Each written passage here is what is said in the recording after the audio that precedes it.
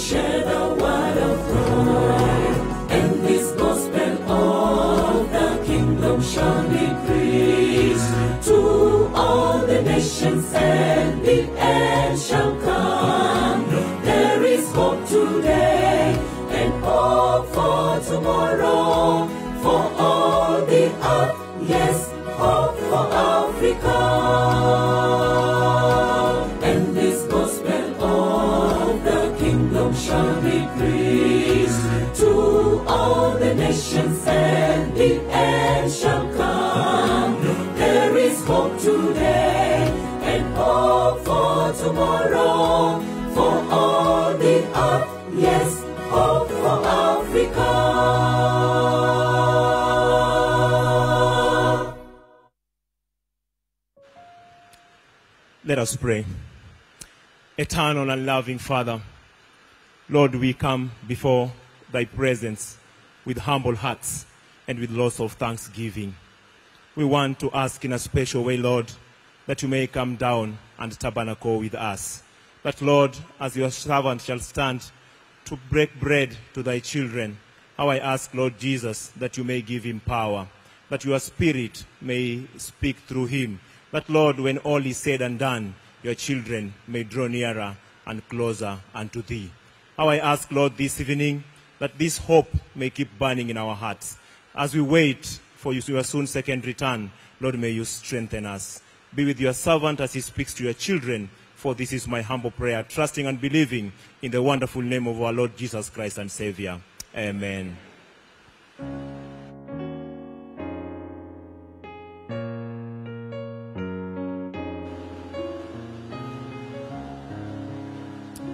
I greet you all in the name of Jesus. Praise be to God. This evening, I'm privileged to introduce the man of God, Pastor Mark Finley. As I was making a short conversation with him, he just mentioned the years he has been serving God, spreading the gospel message. And I was surprised. The years he has served are equal to the years of my age. And then I asked him, how will it feel when we meet Jesus and Jesus will be introducing to you all the thousands and millions of lives that were transformed by your ministry and by the power of the Holy Spirit? How will it feel? And he said he will feel good. And said, I asked him, I can imagine the crowns. We can't count them. He said he will put all the crowns at the feet of Jesus. Praise God. And therefore, tonight, I can assure you that God is going to use him again. He's going to talk about Revelation chapter 14, the special message in this book. You will not be disappointed. Those who are viewing online and those who are here, listen to this message and you will be blessed. Welcome, man of God.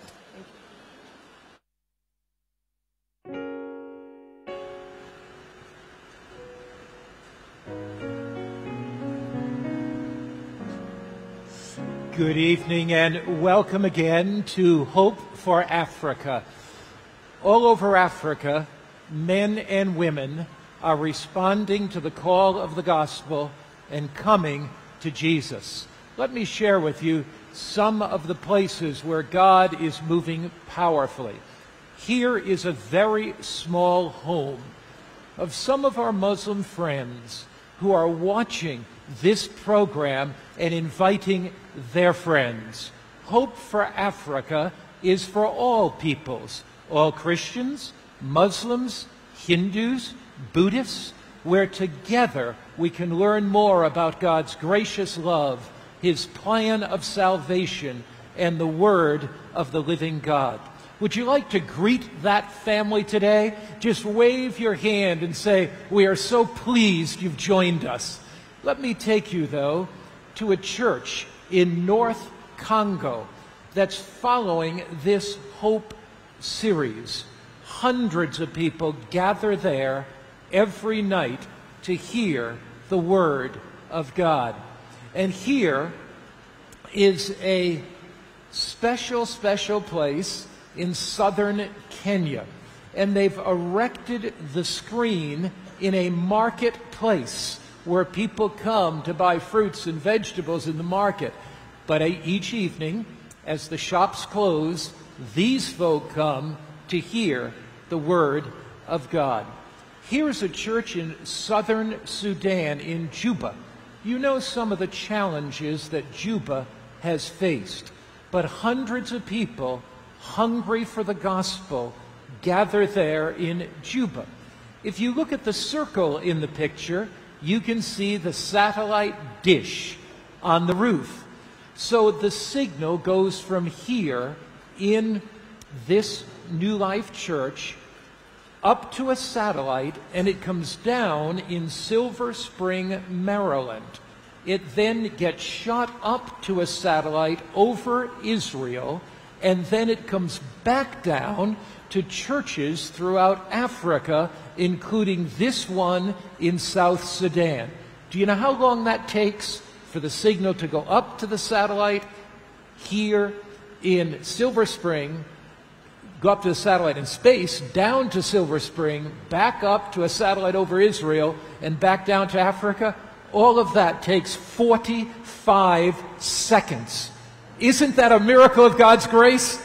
Can somebody say amen? God is using technology to finish his work. Here is a very special site in a prison.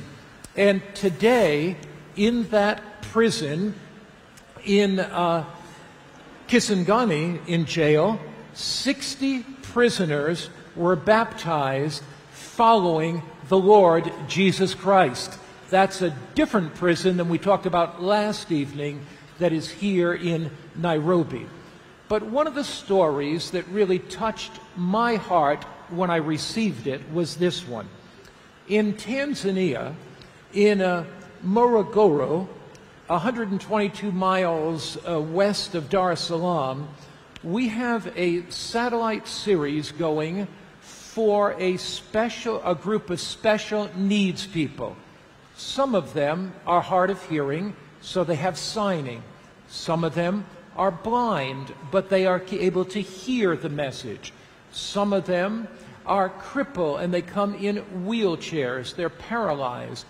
Do you know that 400 special needs people come to that one site?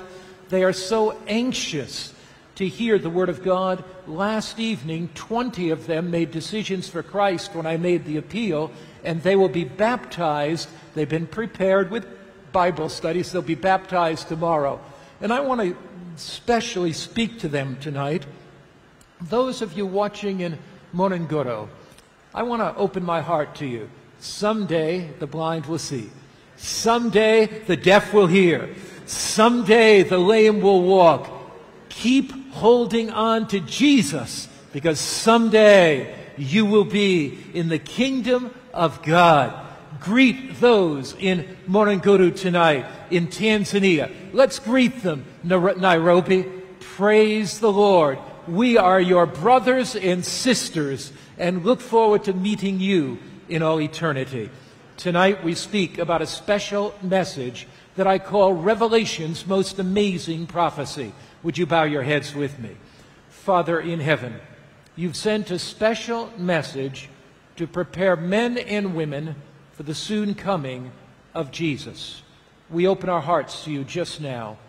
Impress us with this message straight from the book of Revelation. In Jesus' name, amen. Revelation reveals God's last day message for humanity. Now, it's not unusual that God would have a message for this generation, especially designed to prepare men and women for the coming of Christ. God always sends a message to prepare his people for major world events which affect their eternal destiny. Now, the Bible is not a, primarily a history book, although it touches on history. The Bible does not mention every nation in the world, but where there are large events that impact the entire globe, that impact especially God's people, he brings that to view in history.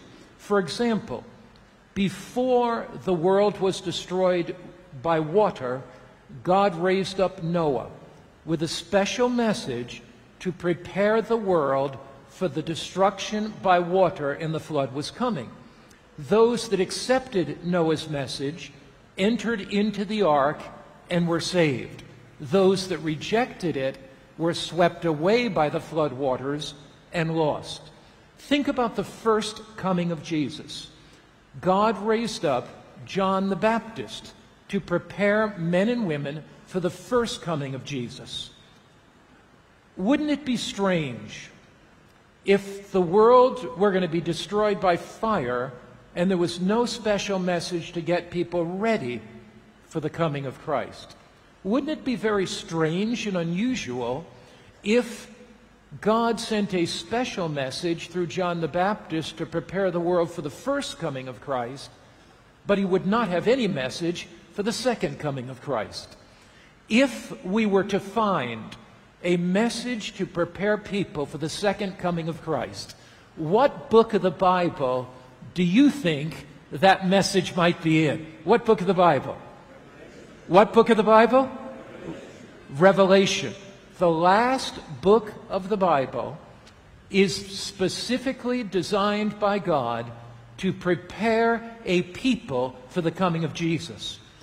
Revelation's message in chapter 14 is as important for our day as Noah's message was for his day. Revelation chapter 14 is as important for this generation as John the Baptist's message was to prepare people for the first coming of Jesus. It has God's end time message. John, exiled on the island of Patmos, looks up in a glorious vision that God gave to him and John says in Revelation chapter 14, verse 6, Then I saw another angel flying in the middle of heaven. What was the angel doing, everybody? What was he doing? He was floating, right? Just kind of floating along. He was not floating, he was flying. Flying indicates speed. Flying indicates rapidity. Flying indicates urgency. So here is an urgent message flying in the midst of heaven having the everlasting gospel, to preach to those that dwell on the earth, to every nation, kindred, tongue, and people. Here is an urgent message that's not simply for one language group, not simply for one ethnic group. Here is an urgent message for humanity that's to go to the ends of the earth. If God has sent an urgent message for all humanity, don't you think it's quite important that we study it? If it's to go to every tribe, every nation, every kindred, every tongue, every people, it's to leap across oceans. It's to penetrate into the farthest jungles. It is to reach the large cities of our world. It is to go to every nation, kindred, tongue, and people. This is a universal message. It's a message for all humanity. Now, what event does this message prepare humanity for? Revelation chapter 14 tells us. It says, John says in Revelation 14, verse 14, Then I looked, and behold, a white cloud. And on the cloud sat one like the Son of Man, having on his head a golden crown, and in his hand a sharp sickle. And another angel came out of the temple. And the angel said, He cried with a loud voice to him that sat on the cloud, Thrust in your sickle and reap for the time has come for you to reap, and the harvest of the earth is ripe. So he who sat on the cloud thrust in his sickle on the earth, and the earth was reaped. So here, John pictures the Son of Man, Jesus, coming in the clouds of heaven as a reaper to reap the harvest of the earth. Well, we might ask the question what is the meaning of Revelation's symbol of harvest? The Bible answers that question. In Matthew, Jesus explained what the harvest was. He says, The enemy that sowed all these seeds was the devil. He sowed evil. The harvest is the end of the age, and the reapers are the angels. So when Revelation speaks about the harvest, it's speaking about the end of the age. It's speaking about the end of the world. So Revelation chapter 14, verse 6 to 12, is the message to prepare for the harvest. It's the message to prepare a final generation for the coming of Jesus. The reign of sin will come to an end when Revelation 14's message is completed. So let's look at that message tonight. Let's study that message. That message that is as important for our day as Noah's message was for his day that message that is to prepare a people to stand alive when Jesus comes. Then I saw another angel flying in the middle of heaven, having the everlasting gospel. The first thing that we notice about this message, it's the everlasting gospel. The message that Christ was born. He lived the perfect life that we should have lived. He died the death that we should have died. The everlasting gospel is the gospel that Christ took upon himself the guilt and shame of our sins, that Christ died in our behalf. The everlasting gospel is outlined in John chapter 3, verse 16. You know it well. Say it with me in English if you know it. If you don't, say it in your own language. For God, say it with me, for God so loved the world that he gave his only begotten Son, that whosoever believeth in him should not perish, but have everlasting life. That is the gospel. God so loved that he gave his only begotten Son. Jesus left the joys of heaven. He left the worship of the angels and he came to earth that whosoever believes one night I was preaching far back in the Philippines.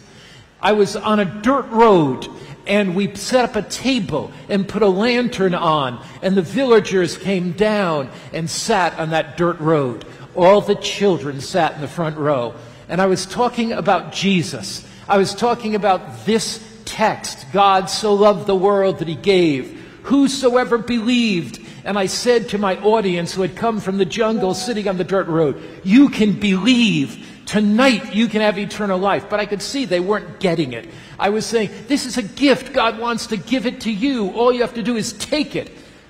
And everybody was kind of looking at me and I thought I have to I have to do something. So I had something in my pocket like a pen or something. And I took it out and those children in the front row began to look at this pen. And I said to one child, "Would you like the pen? Take it." And for some reason I scared the child. He jumped up, ran into the jungle. I went to the second child. Would you like the pen? Take it. He jumped up, ran into the jungle. Went to the third child. I reached out, take the pen. He took it and ran into the jungle. and all the parents began saying, Come back, come back. So the children came back, and I said to the first child, Do you have the pen? No, I don't have the pen. Do you have the pen? No, I don't have the pen. I said to the third, Do you have the pen? He said, Oh, yes, I have it. And I said to the other two, Why don't you have it? I didn't take it. Why do you have it? Because I took it. I said, You know what? You can keep that pen. And the other two children said, He can keep it? I said, Yeah, because he took it. You didn't take it. Did you take the gift that Jesus offered for you? All you have to do is take it. God so loved the world that he gave his only begotten Son, that whoever believes in him, belief is an act of faith, which you take what Christ offers. We do not earn eternal life. Our good works do not merit eternal life. But tonight, there's somebody listening that has never reached out to Christ and taken eternal life. You can reach out right now and take the life that Christ offers. He that believeth in him should not perish. You need not perish. You can take that gift of eternal life. What is the gospel? First, that Christ died. Second, that he lived a perfect life. And when we take the gift of eternal life, when our name comes up in judgment, Christ steps forth and he says, This man, this woman is one of mine. Yes, they failed, but they took the gift of eternal life, and my perfect life covers their failures. Christ's perfect life, his perfect record, is put in the place of our sinful records for all who accept him and follow him. What is the everlasting gospel? It's also that Christ rose from the dead. He lived, he died, he was risen from the dead, he is alive, he ascended to heaven, he is your Savior and mine. Not only did Christ die for me, but Christ lives for me. Not only did he forgive my past and deliver me from the guilt of sin, he delivers me from the grip of sin. Not only did Jesus take the penalty of sin upon himself, but he gives me power to live a new life. What is the gospel that's to go to the ends of the earth? It is that in Christ, by Christ, through Christ, you can be saved. Your life can be changed. If you're struggling with some habit in your life tonight, if you're struggling with some great problem in your life tonight, if there's some big mountain before you tonight, the living Christ will give you power to deal with it. Jesus is alive. Teach me to say that in Swahili. Very slow in Swahili. Jesus is alive. Come up and teach me. Somebody, Pastor Mmbaga, come up and teach me, Pastor David. Jesus is alive. Yesu yu hai. Yesu, Yu hai. you high. Yes. Yesu, you high. Are we ready to say it together? Yesu, you high. Again. Yesu, you high. Jesus is alive. Do you believe that tonight? Do you believe that tonight? Because he is alive, he can change your life. How can I find personal peace, you ask? By coming to this Christ, by letting him forgive your sin, by coming to this Christ, by receiving his power, by being changed by the gospel. The everlasting gospel is the answer. But the three angels' messages that are to go to all the world go on. Long neglected truths that have been lost sight of by Christianity will be restored. These truths will be based on the Bible, based on the gospel of Christ. So the angel goes on. He says in Revelation 14, verse 7, Fear God and give glory to Him, for the hour of His judgment has come. And worship Him that made heaven, earth, the sea, and the springs of waters. Four things. Fear God, give glory to Him, the hour of His judgment has come, and worship Him. A message for this generation. A message for end time men and women. A message for all humanity. What does it mean to fear God? Does it mean to shake and tremble before Him? Not at all. To fear God means to respect or reverence God by obeying Him. In the Bible, fearing God means to take God seriously. Fearing God is a state of mind in which I commit my life to Christ to take him seriously. Often in the Bible, fearing God or reverencing God is linked to obeying God. Ecclesiastes chapter 12 verse 13 tells us that. Let us hear the conclusion of the whole matter. Fear God. Do what, everybody? Do what? Fear God and keep his commandments. For this is the whole duty of man. So if anybody says to you the commandments of God are done away with because you're saved by grace, grace does not lead us to disobedience. Grace leads us to obedience. God's final message for mankind, his last day message, is to lead men and women to reverence or respect God by keeping his commandments. Look, listen to what it says in Proverbs chapter 3 verse 1. My son, do not forget my law. Have many people forgotten God's law today? My son, do not forget my law, but let my heart, let your heart keep my commands. So in the last days of Earth's history, at a time when the law of God is dragged in the street, at a time when adultery is commonplace, at a time when stealing is normal, at a time when Sabbath breaking is regular on many people, at a time when many people take the name of the Lord thy God in vain. God is calling a generation. He's calling men and women back to obedience. The message to prepare people for the coming of Jesus is a message that says, Fear God, teach your children to obey Him, live godly lives of respect, fear God, and give glory to Him. For the hour of His judgment has come. What does it mean to give glory to God? Fearing God has to do with an attitude of mind in which I take Him seriously and commit my life to obey Him through His grace. Giving glory to God has to do with the way I live. For example, Giving glory to God, the Bible tells us about that. What does it mean to give glory to God? We find it in the book of Corinthians. To give glory to God means to honor Him in my lifestyle. 1 Corinthians chapter 10 verse 31 says, Therefore, whether you eat or drink or whatever you do, give glory to God. So we give glory to God as we care for our bodies. Can I give glory to God if I'm smoking away dope and drugs? Can I give glory to God that way? Can I give glory to God if I'm dousing my body with alcohol and fogging up my brain? Can I give glory to God if I'm eating those foods that the Bible tells me not to eat? Is that giving glory to God? Can I give glory to God if I'm promiscuous in immorality? The Bible says in the final generation, the gospel will go to the ends of the earth. Men and women will be saved by grace. They'll be led to obey God. They'll be led to give glory to God in their lifestyle, in every single thing that they do. That's why we have the messages of health here at our meetings. Not simply to help people to be healthy so they can sin more because they're healthy, but the, but health is part of God's three angels' messages in Revelation to get a people ready to meet their Creator when He comes again. Health is part of God's last day message for humanity. When we make a decision to follow Christ, He gives us the power to change habits in our life that are unhealthful.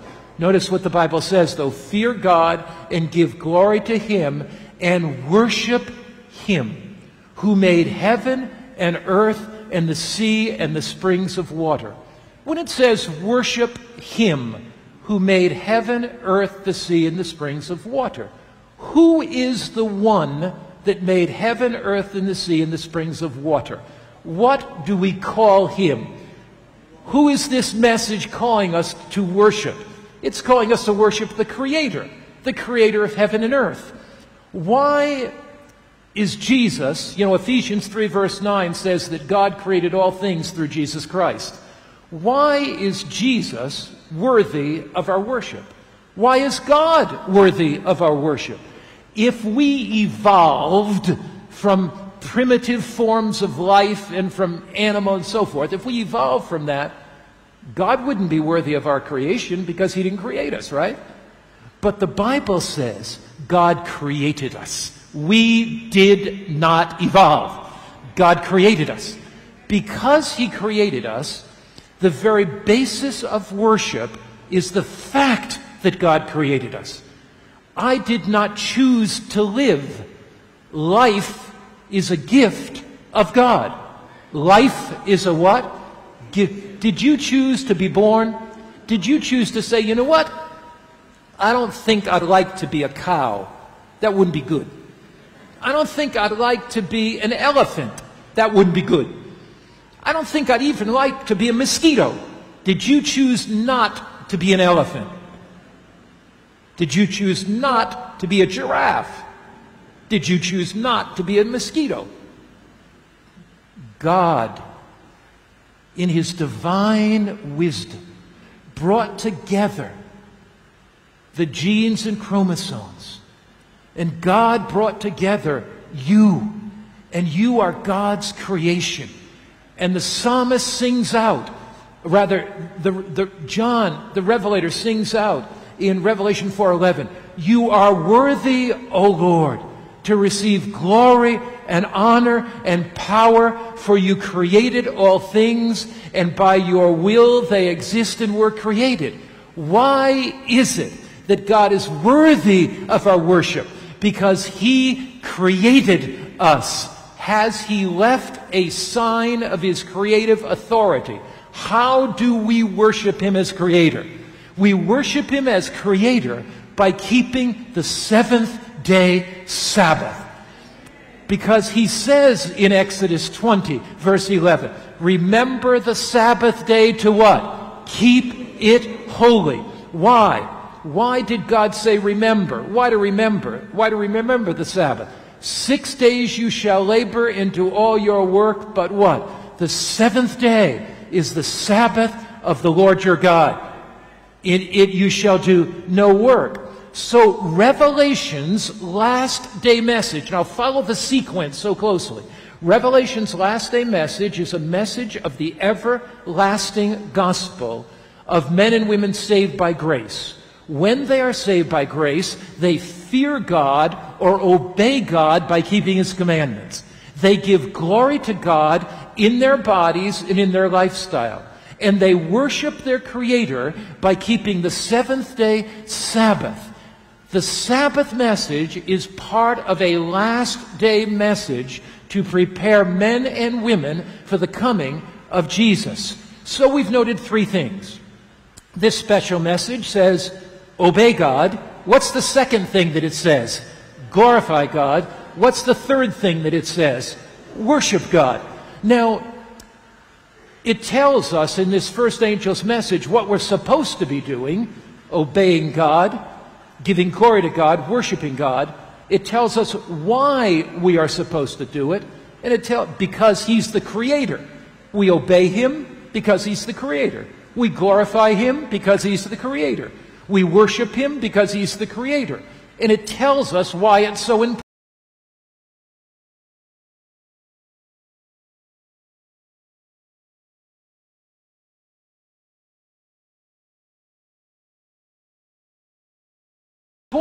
Why? Revelation 14, 7. Fear God and give glory to Him. Why? For the hour of His judgment has come.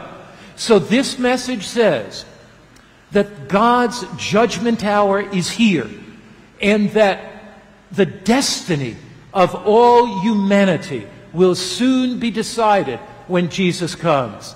The hour of God's judgment has come. We are living not in common time. We are living not in usual time. We are living at an unusual time in Earth's history, the hour of God's judgment. So Revelation is a book of choices.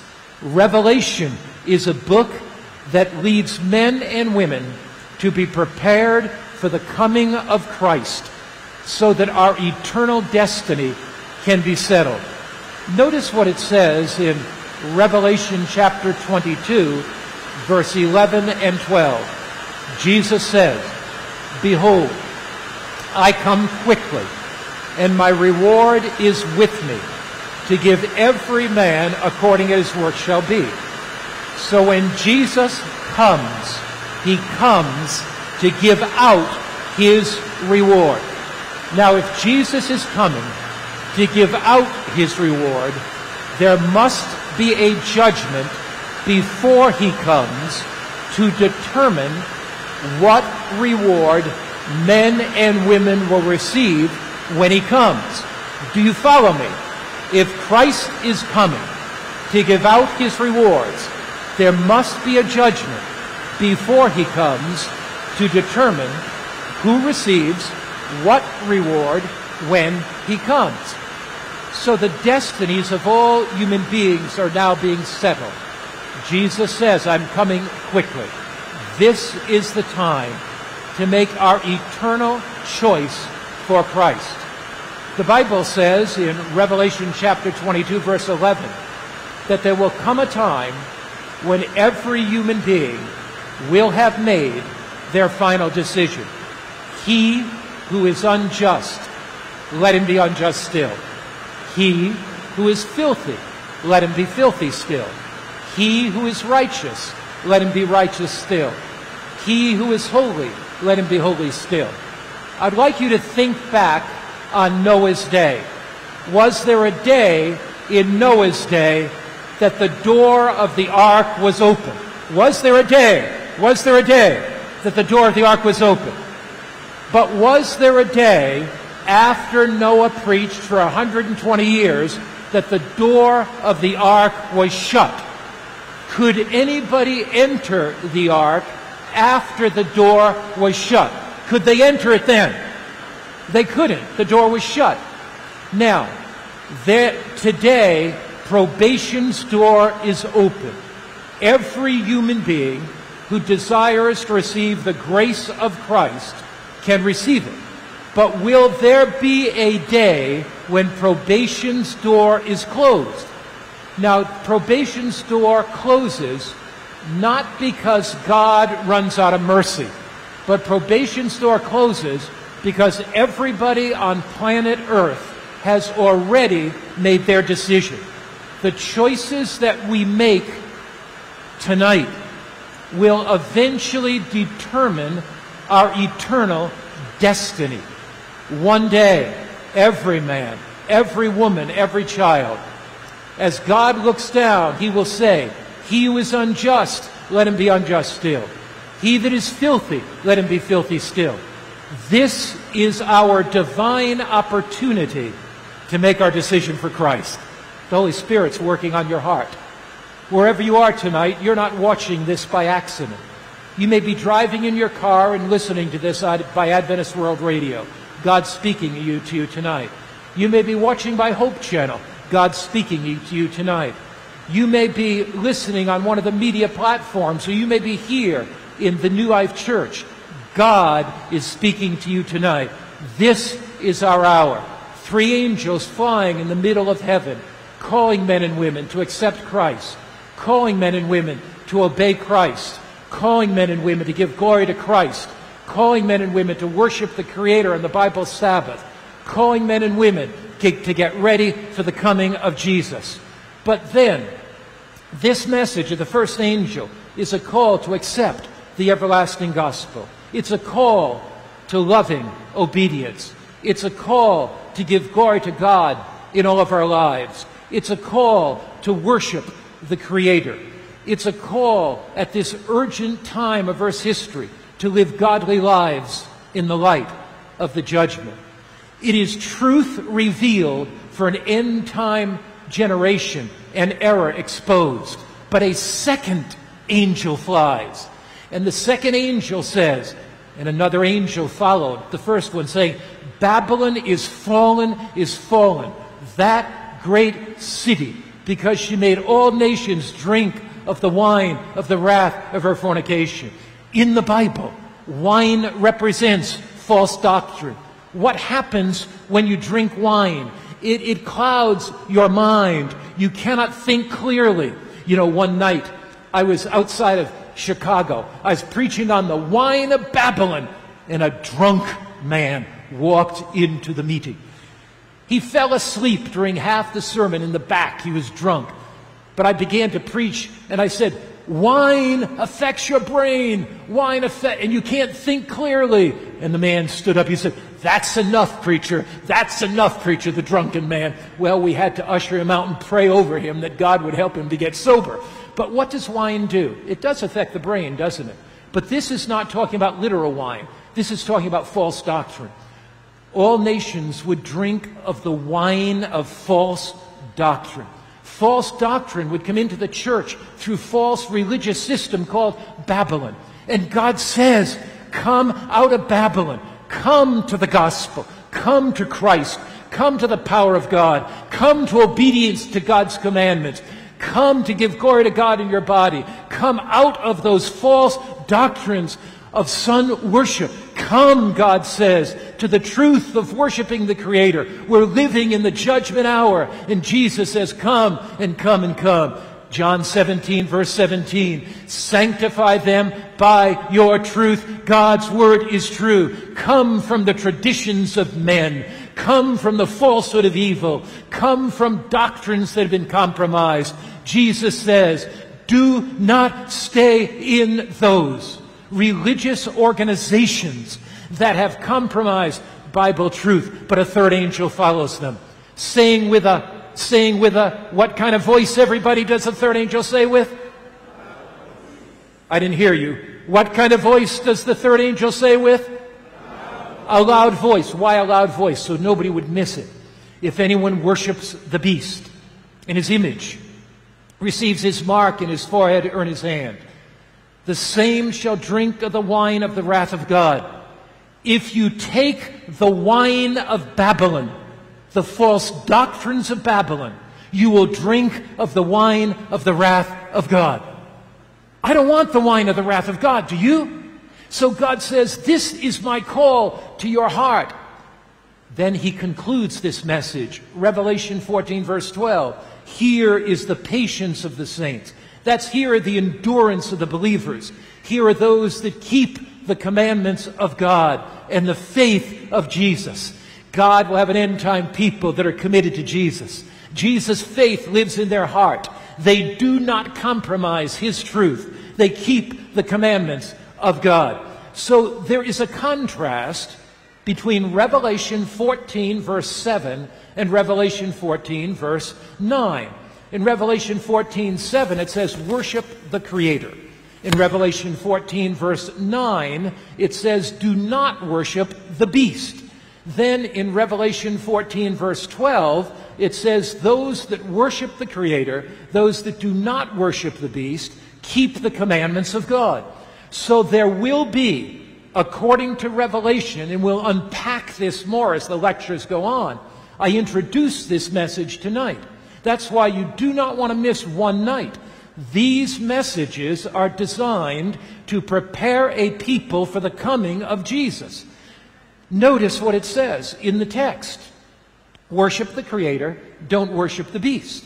And then it goes on to say, God will have a people in the last days of Earth's history, when the mark of the beast is enforced. God will have a people at a time when no man can buy or sell, at a time when a death decree goes out, God will have a people that the faith of Jesus is living in their heart through grace, by grace, because of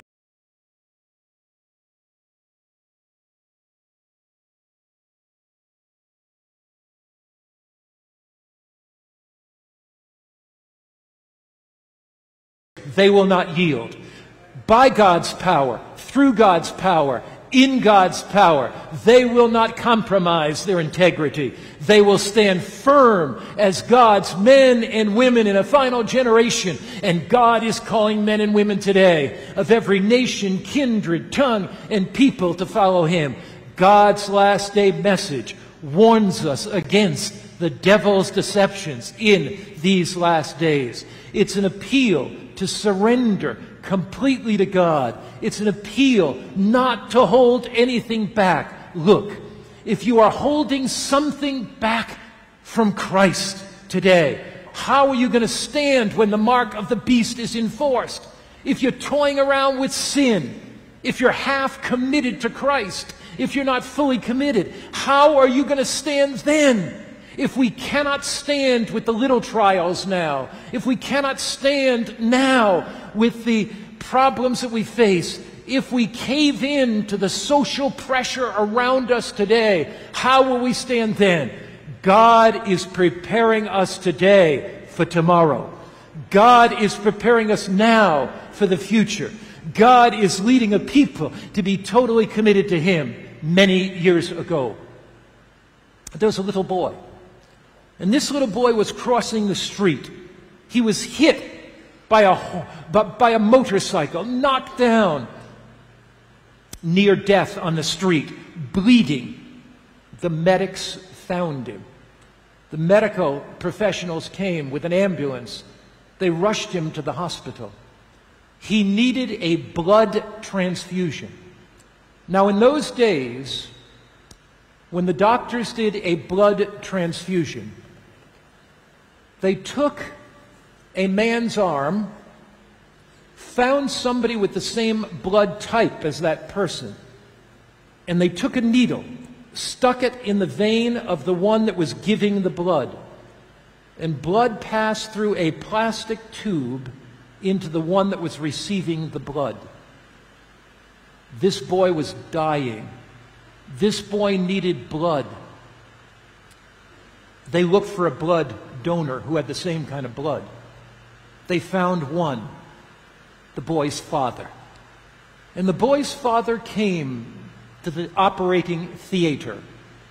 And as he came to that theater, the doctor said, Sir, your blood will save the life of your son. They took the needle, pricked the father. Blood began flowing through that plastic tube into that little boy's body. And the father watched the blood flow. And he said to the doctor, Doctor, if you need to, take it all. Doctor, if you need to, take every drop of my blood.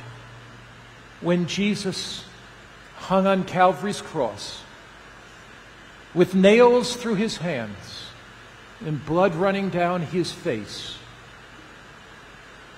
blood pouring from his wrists, he said to his father, Father, take every drop of my blood for my people because I can't stand being in heaven if they're not there with me.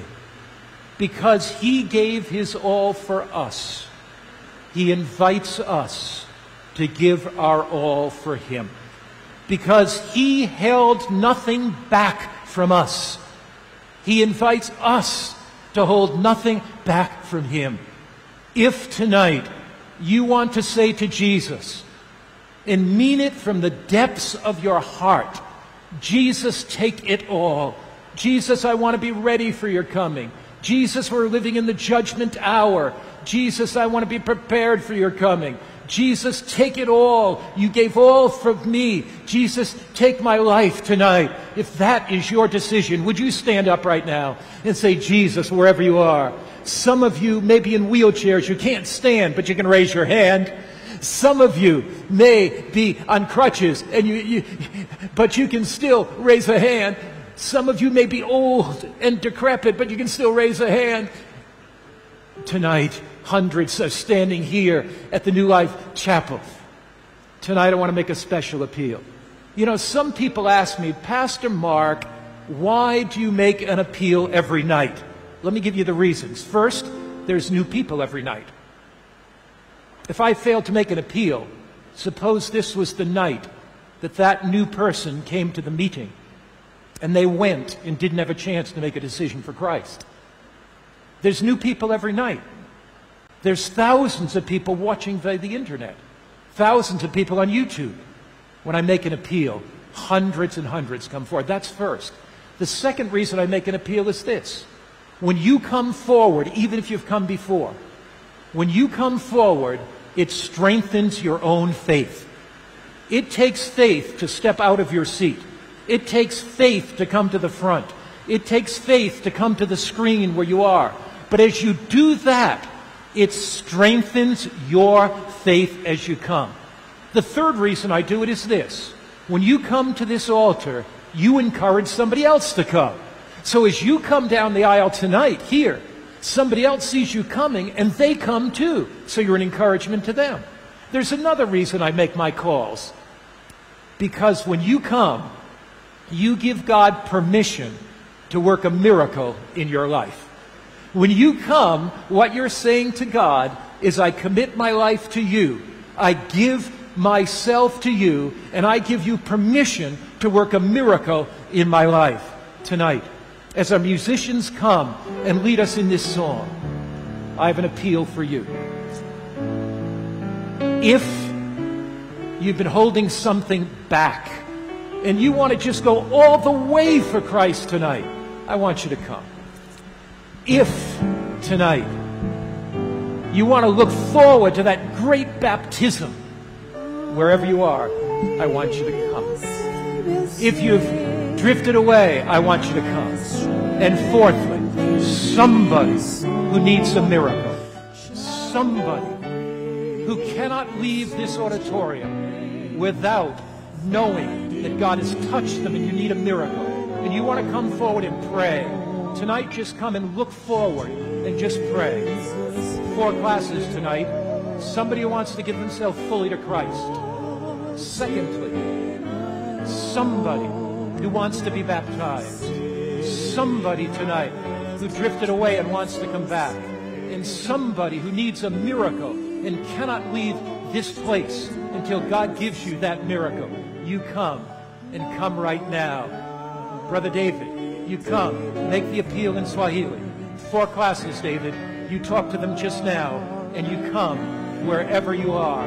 Come to that screen, and we'll come down to greet you as you come by the grace of God tonight. God's going to touch somebody tonight. As you come, your faith will be strengthened. As you come, you give God permission to work a miracle in your life. As you come, you encourage others to come. As you come, you say, God, work a miracle. Brother David. Bwana anakuita usiku wa leo, jioni ya leo ni saa ya kuisikia sauti ya Bwana popote ulipo. Sogea hapa mbele kwa ajili ya maombi maalum kwa ajili yako. Unahitaji uweze kupewa nguvu hata wakati wa changamoto itakapofika, wakati mafundisho ya uongo yatakavyofundishwa, uweze kuwa na nguvu ya kuyafahamu na kuyapinga. Njoo hapa mbele kwa ajili ya maombi maalum, lakini na kujitoa maisha yako kwa Yesu Kristo.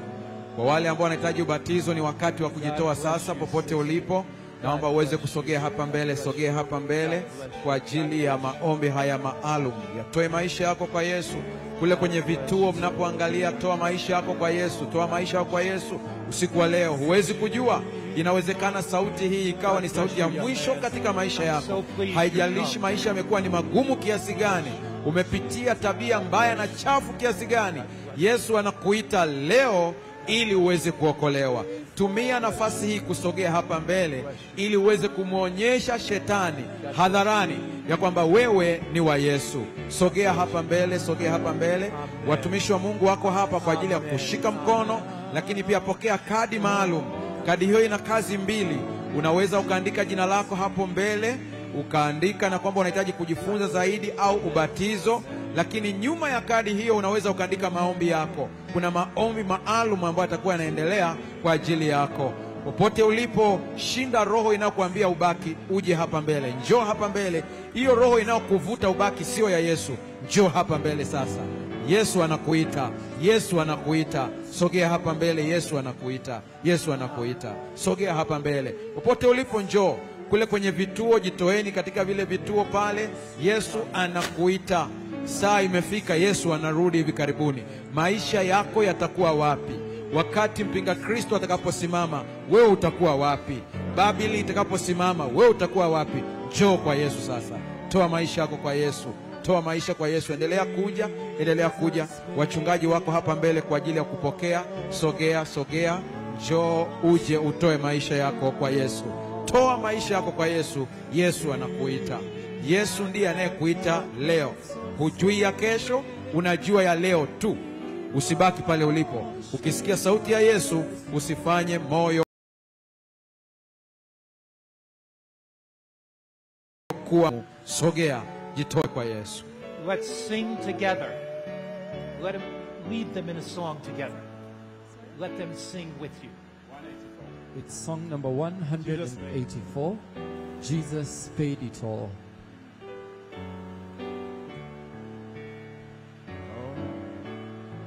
Let's sing it together go. I hear the Savior say, Thy strength 错。